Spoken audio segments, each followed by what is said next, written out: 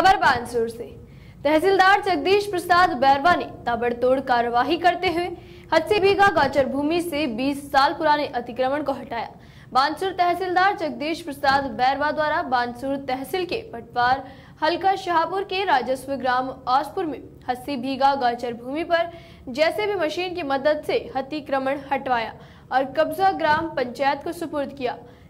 तहसीलदार जगदीश प्रसाद बैरवा ने बताया कि ग्रामीणों ने उपखंड कार्यालय में प्रार्थना पत्र पेश कर निवेदन किया था कि ग्राम पंचायत के राजस्व ग्राम औसपुर में गाँव के ही प्रभावशाली लोगों ने कोर्ट स्टे की आड़ में गौचर भूमि पर अतिक्रमण कर रखा है।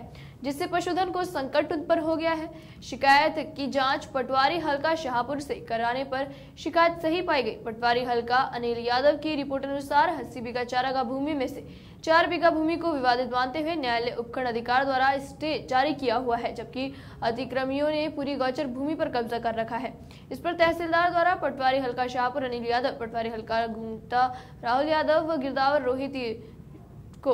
रोहिताश्व स्वामी की संयुक्त टीम का गठन कर सीमा ज्ञान द्वारा अतिक्रमण को चिन्हित कर ग्राम पंचायत के सहयोग से जैसी मशीन द्वारा हटाकर कब्जा ग्राम पंचायत को सुपुर्द किया।